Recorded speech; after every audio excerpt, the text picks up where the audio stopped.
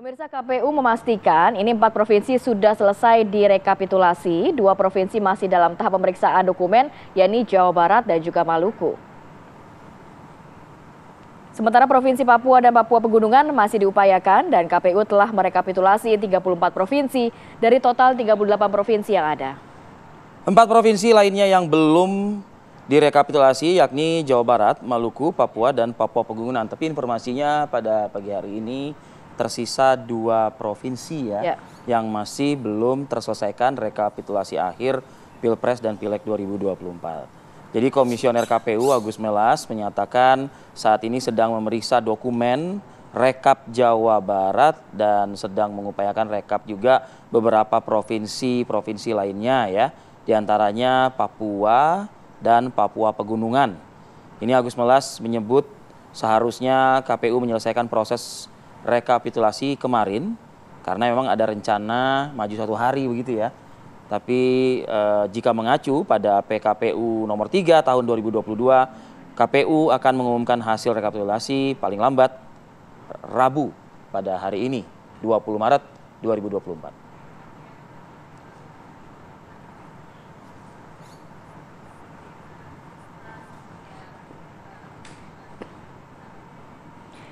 Pemirsa rapat pleno rekapitulasi hasil suara Pilpres 2024 di tingkat nasional terus digelar di kantor KPU Jakarta. Kita nantikan seperti apa hasilnya di tanggal 20 Maret 2024 hari ini dan juga bagaimana tanggapan dari masing-masing tim ses. Kita hadirkan dulu informasi berikut ini.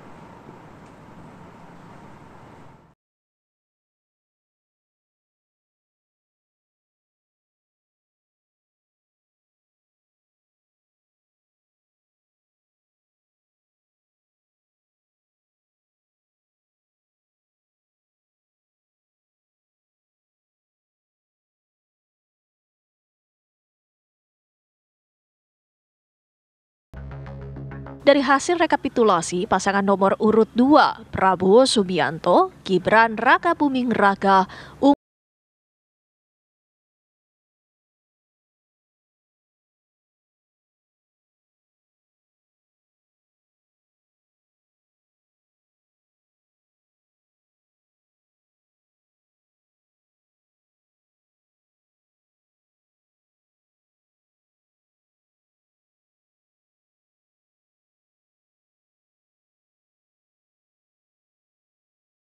Pemilihan Umum juga berencana akan mengumumkan hasil rekapitulasi suara Pilpres 2024 tingkat nasional hari ini.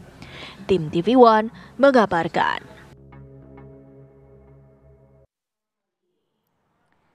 Ya, hasil akhir Pilpres masih kita nantikan. Bagaimana untuk masing-masing kubu sudah siap menang, sudah siap kalah. Karena kalau berkontestasi harus seperti itu ya, Fi, ya. Kita hadirkan beberapa narasumber pada pagi hari ini. Di samping saya sudah ada Prof. Siti Zuhro, peneliti senior BRIN. Assalamualaikum, selamat pagi. Prof. Waalaikumsalam pagi. Prof. Waalaikumsalam. Sehat ya? Selamat pagi. Pagi. Kemudian juga ada Bang Fritz Edward Siregar, Wakil Komandan Alfa TKM Prabowo Gibran. Selamat pagi, Bang Fritz. Selamat pagi. Pagi, Bang Fritz. Kemudian juga Kang Pipin Sopia, juru bicara tim Nasamin. Selamat pagi, Kang Selamat pagi, Pipin. Kang. Assalamualaikum. Salam. Kemudian juga sudah ada Bang Vincentius Mendrova, Wakil Direktur Eksekutif Deputi Hukum TPN Selamat ya, pagi. Ganjar Mahfud. Selamat, Selamat pagi, pagi, selamat Bang pagi. Vincent. Dan juga sudah bergabung bersama kami Mbak Titi Anggraini melalui Zoom, Mbak anggota Dewan Pembina Perludem. Selamat pagi Mbak Titi, Assalamualaikum. Pagi Mbak Titi. Kita nantikan sebenarnya di studio ya padahal rame hari ini. Salam warahmatullahi wabarakatuh. iya, sayang sekali belum bisa bergabung. Iya, nggak apa-apa Mbak Titi. Eh, saya mau ke Kang Pipin dulu sebagai 01. Hasil rekapitulasi akhirnya memang kita masih nantikan. Cuma kan selama ini kita juga bisa melihat secara uh, live streaming bagaimana perhitungan suara. Sudah siapkah dengan hanya dua kemenangan provinsi? Berarti Belum dalam arti, masih ada dua provinsi lagi kan? Ah, ini- tapi kan unggul 02. Sudah siapkah menerima hasilnya? Siap menang dan siap kalah Oh, oke. sejak awal. Sejak awal. Ya sejak deklarasi dulu ketika eh, masa-masa kampanye pendaftaran Anies Muhaimin siap menang dan siap kalah secara terhormat. Oke. Ya. Oke.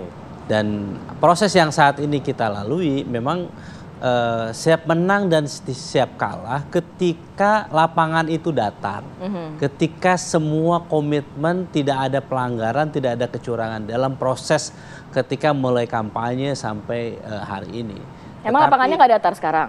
Ya saya kira kita sudah melihat sejak awal ya proses kami selalu mengatakan bahwa apa yang terjadi saat ini politisasi bansos, politas, politisasi ASN, politisasi hukum dan sebagainya yang terjadi itu yang membuat kami uh, membuat keputusan bahwa Timnas menyampaikan bahwa setiap proses tahapan kita menolak hmm. ya dan sampai saat ini kemungkinan kita akan menolak hasil hmm. dari uh, penghitungan KPU ini. Okay. Tentu nanti dengan yang akan dengan menyampaikan menolak itu bukankah jadi justrunya stigmanya di masyarakat tidak siap kalah. Tidak siap kalah. Dong. Oh tidak, tidak belum tentu ke sana. Jadi sejak awal kita menyampaikan itu kalau prosesnya sesuai dengan aturan, hmm. sesuai dengan hukum, hmm. yang kita persoalkan saat ini adalah persoalan cacat etik, cacat hukum dan cacat politik. Hmm. Dan semua jalur akan kita lakukan. Hmm. Jadi uh, proses yang saat ini kita lihat adalah ketika melihat bahwa persoalan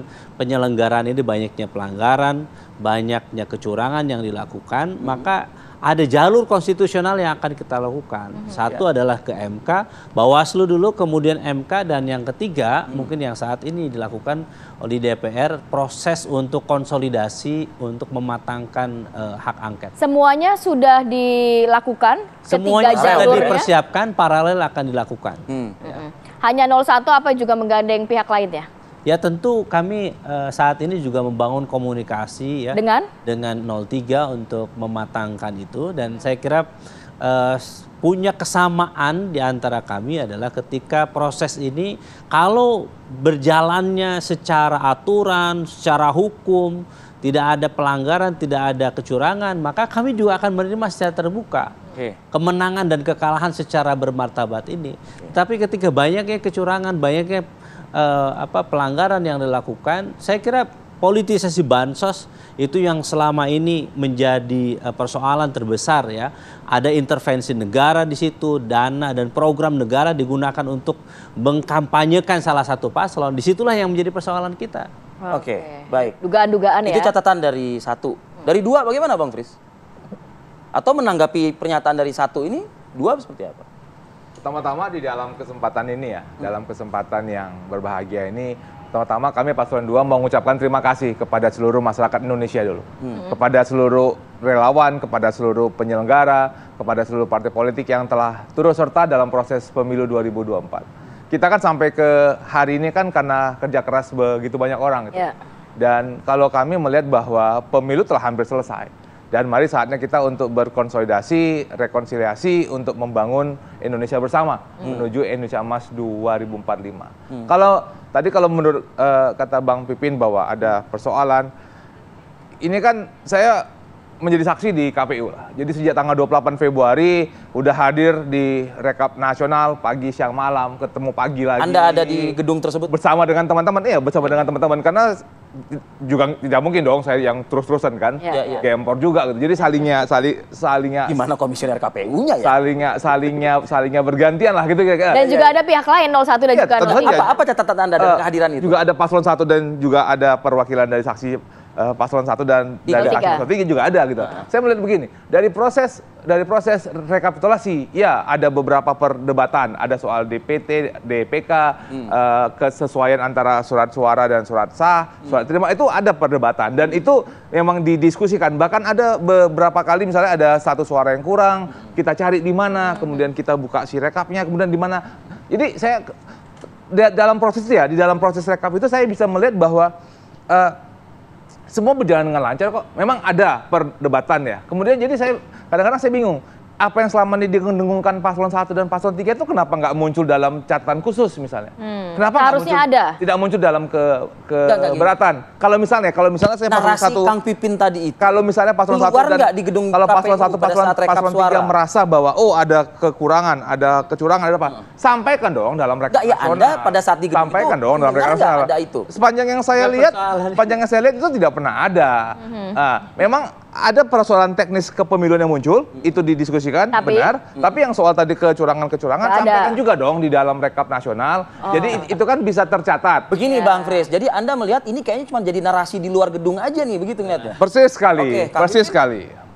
Jadi Mas Fris ini harus paham, yang kita persoalkan tuh how to get, how to get your number. Bagaimana Anda bisa mendapatkan angka sebesar itu sebetulnya? Bagaimana eh, bukan pada rekapitulasinya itu. Kalau rekapitulasi itu adalah hasil dari akumulasi. Tapi sebelumnya Ya, tetapi yang dipersoalkan adalah bagaimana Anda mendapatkan angka sebanyak itu. Itu sebenarnya menjadi persoalan. Jadi ketika bagaimana Anda mendapatkan angka itu misalnya dengan memobilisasi ASN, dengan melakukan politisasi bansos, dengan melakukan eh, politisasi hukum, itu yang menjadi persoalan kita. Tapi itu ada buktinya Dan ruangannya memang bukan merli di situ, bukan berada di ruang KPU, tetapi nanti pengaduannya ada di Bawaslu, ada di MK. Sebenarnya pers- Nah, kalau persoalannya ada di situ. tidak ada di ruang itu, Kang, Ada di situ, tetapi kan Mas Pri juga tidak selalu ha- saat juga. hadir setiap saat, dan itu ada di setiap level, dan itu juga akan dipersoalan terus setiap tahapan. Jadi yang menjadi persoalan kita adalah di situ. Oke. Jadi kalau misalnya mau setiap tahapan, ya kita lakukan itu. Makanya Oke. kan ada penolakan. di apakah hal tersebut hal yang sama juga dirasakan oleh 03, Bang Vincent? Permasalahan-permasalahan yang muncul di kubu 01 ini? Ya, pertama ya bahwa kalau tadi berkaitan dengan siap menang siap kalah, pada prinsipnya eh, sejak awal Ganjar Mahfud dalam berkompetisi ini, dalam berkontestasi dalam pilpres ini, kita sudah siap kalah dan siap menang ya. Makanya ada slogan dari Ganjar Mahfud ini bukan tentang Ganjar, tapi ini tentang Indonesia, kan kira-kira begitu. Apa yang kita perjuangkan ini tidak semata-mata hanya sebatas pada Ganjar Mahfud, tapi bagaimana kita melalui pemilu 2024 ini lebih bermartabat, terhormat ya, jujur ya, sesuai dengan azas yang ada dalam Undang-Undang Dasar kita, yaitu luber dan jurdil. Ya. Tentu itu yang kita junjung. Ya. Makanya ini tuh bukan tentang semata-mata Ganjar Mahfud, tapi ini tentang Indonesia, ke depan gitu. Nah, kalau berkaitan dengan persoalan-persoalan yang kita alami di pemilu 2024 ini, saya pikir masyarakat sebetulnya sangat tahu bagaimana carut marutnya eh, pemilu 2024 ini. Bukan hanya pada soal-soal yang dipersoalkan di rekapitulasi ya, tapi ini sebelum eh, terjadi pencoblosan pada saat pencoblosan maupun dalam proses-proses rekapitulasi. Banyak juga keberatan-keberatan kita yang memang tidak diakomodir ya. Memang kita tahu kanal-kanal yang tepat. Bagaimanapun di dalam rekapitulasi itu bukan kanal dalam mengambil keputusan berkaitan dengan misalnya kecurangan, Ya. eh, pelanggaran-pelanggaran karena kanal-kanal yang di diberikan dalam undang-undang dan konsti- konstitusi kita Konsep kita paham Bawaslu. betul bahwa ada jalur Bawaslu, ada tentu eh, itu ada yang paling terakhir nanti berkaitan dengan Mahkamah Konstitusi Ah, iya. dan s- dalam konteks politik ini sedang digulirkan dalam konteks hak angket dan kita melalui kanal-kanal itu semua. Kenapa? Karena memang kita harus menjunjung tinggi eh, konstitusi kita dan peraturan perundang-undangan kita. Dan ini sejak awal Ganjar Mahfud mengedepankan itu. Nah, oleh karena itu eh, meskipun ya bahwa eh, banyak masyarakat banyak masyarakat yang menilai eh, ada ketidakpercayaan terhadap eh, penyelenggaraan pemilu dan ini kami banyak mendapatkan informasi berkaitan dengan itu sehingga eh, kami cukup pesimis sebetulnya yang berkaitan dengan penyelenggaraan pemilu.